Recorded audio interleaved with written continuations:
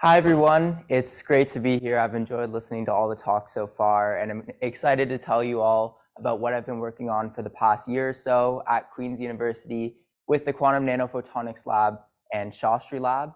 So I'm just going to get right started uh, and start telling you all about these networks that can learn to become fundamental components of emerging quantum technologies.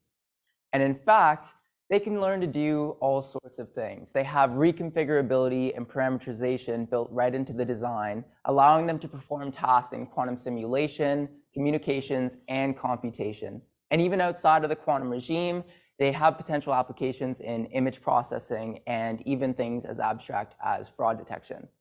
However, there is one caveat to all this, and that is all of these proposed applications have been proposed assuming that the networks are operating ideally.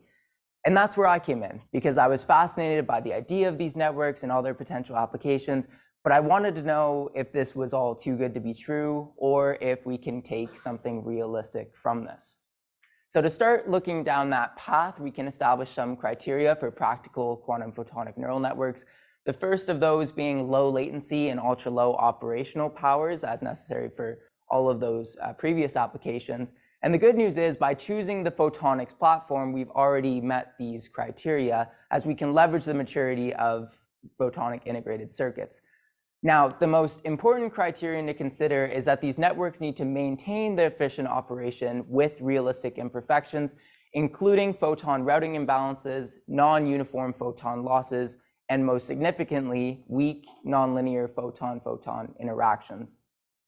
So keeping all of this in mind, this is the roadmap for my talk today and for understanding realistic quantum photonic neural networks. So I'm going to draw from an, an, example in quantum communications, keeping in mind that in principle, if these networks are realistic for one application, they have the potential to do a lot more. I'm going to start by looking at the network architecture and how they are trained, then add some relevant imperfections, and ultimately analyze the realistic performance. So starting off here with the example, this is a diagram of a two-way quantum repeater where the idea is to establish a communication channel between these two people. Now the way this is done is each of these four purple quantum repeater nodes generates a pair of entangled photons and sends them in either direction to Bell state analyzers that perform what is called entanglement swapping. So the idea is that two photons come into the Bell state analyzer and it projects it to the computational basis. And that creates this widespread entanglement between the uh, photons on either end here that ultimately establishes the communication channel as desired. So the most important part of this scheme is the Bell state analyzer. So I'll take a closer look at that here. By definition, this component is designed to project the maximally entangled Bell states to the computational basis for measurement, and more specifically, it allows you to perfectly discriminate between all four Bell states. Uh, and one other thing to note is that if you run it in reverse, you can also use it to generate Bell states. But keeping projection in mind, one thing here is that all these states are, are written in terms of qubits, and I've been talking about photons. So one way that we can encode these photonic qubits is with dual rail encoding. So for each qubit, we have two spatial modes or two waveguides. And when the photon's in the upper mode, you have your zero state, whereas if it's in the bottom, you have your one state. And as an example, we can see for this uppermost input-output pair what these states look like in terms of the photons. Now to quantify the performance of the Bell state analyzer, we can first label it with the system transfer function S, and then taking S and applying it to an input state, that produces some output and we simply compare what is produced to the ideal output that we're trying to generate. And doing that over all four input-output state pairs, we have the unconditional fidelity. And what this is, in other words, is basically the chance that you get the correct output for any given input. And the important thing to note with this measure that we chose is it includes imperfections intrinsically within it. It's diminished as a result of imperfections like loss and everything like that. So it gives you the full picture of how often your network's actually working. So the natural question to follow this is how can we realize the Bell state analyzer using these photonic architectures? And one approach is with a linear programmable nanophotonic processor as imaged here. However, back in 2015, when this one was uh, fabricated, they were only able to achieve an unconditional fidelity of 0.466.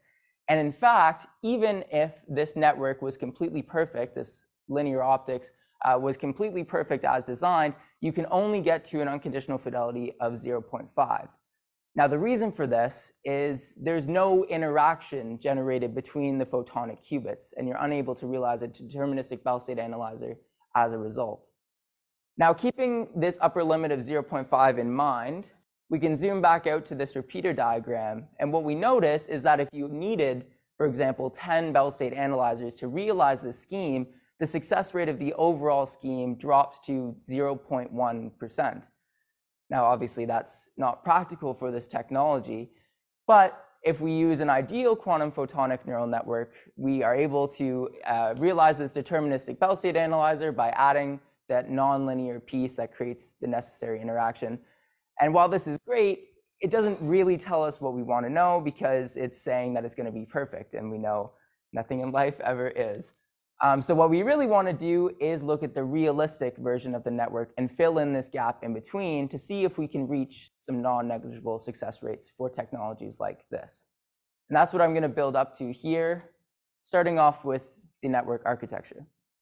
So what we have here are two meshes of Mach-Zehnder interferometers where each interferometer consists of two phase shifters and two 50-50 directional couplers. Now the idea of these interferometers is to generate interference between the photons. So we can see sort of by this cartoon that one photon comes in, and then in superposition, they uh, have some probabilities of moving throughout the networks, uh, throughout the network in different routes. And you eventually have uh, some probability of having one or two photons in each mode. Now, this is just the linear piece, um, and naturally, for a neural network, this gives us the linear layers of the network. Um, but it's still the same as, as what I showed before, that, that linear circuit. What we need to add to it to give it uh, the interaction between the qubits is this nonlinear component. So in this case, it's a Kerr nonlinearity, and the idea is that if one photon comes in, it leaves with no phase change, but if two come in, they each leave with a phase change of phi. And this is the piece that creates that necessary interaction between the qubits to realize a deterministic uh, Bell state analyzer. And it's also analogous to the activation function of a conventional neural network and thus provides the learning capabilities and allows us to train it. Now, speaking of that, what we can do is, again, call this entire network by S, and then define the network error or unconditional infidelity, which is just the opposite of the fidelity. And the idea is to minimize that by varying all the phase shifts throughout all the interferometers in the network, and that's how it's trained to do a specific task. So with the architecture and the training methods in mind, we can now turn to incorporating some relevant imperfections into the model, starting off with those that arise due to fabrication. And most specifically, um, photons may be lost as they propagate due to scattering or being absorbed uh, as they propagate through the network. And we treat more realistic losses by treating them as non-uniform. So as we can see in this image here, um, the losses are centered at some value alpha WG, but for each Mach-Zehnder interferometer throughout the mesh and throughout the network, there's a slightly different uh, value of loss chosen. In this example, you can see it's more likely to lose a photon traveling through the upper part of the mesh compared to the lower part. And another thing to note here is that the state of the art for silicon on insulator at 1550 nanometers is 0.3 decibels per centimeter of losses. We also consider imperfect directional coupler splitting ratios. So ideally, all of the directional couplers are going to be 50-50 in the network, but in reality, you might have 47-53, for example, or some other imbalances. Uh, so those are also treated in the model. So now with this uh, in the model for the networks, we ran many simulations for a variety of losses. And these are some of the pre preliminary training trials for a two-layer network. And uh, just to, to show how this figure works, we can follow the pink line, for example, for uh, state-of-the-art losses and see that um, the network, at the beginning of the training, the network error is around one. And then as we work through the iterations and the parameters are varied, that error decreases by order of magnitude to where it converges at the pink crosses there. Now, as expected, we see that the network error that can be achieved decreases for lower losses. Um, but something that's more unexpected is this variation in the solutions for losses at 0.01 decibels per centimeter, as more typical of uh, silicon nitride platforms, or better. Uh, and we can only assume that, these, that this variation is due to the fact that the losses are now low enough that it's the imbalances due to the non-uniformities that are dominating uh, the imperfections here. Whereas for state-of-the-art losses or worse, it's just the sheer unavoidable losses that are dominating.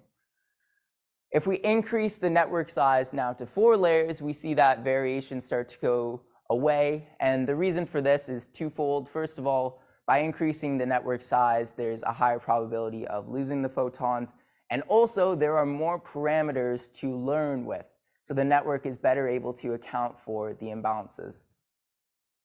Now, this is interesting, but it doesn't tell us the full story. What we really want to know from this piece of the analysis is how does the network uh, work or how efficient is it as a function of the losses?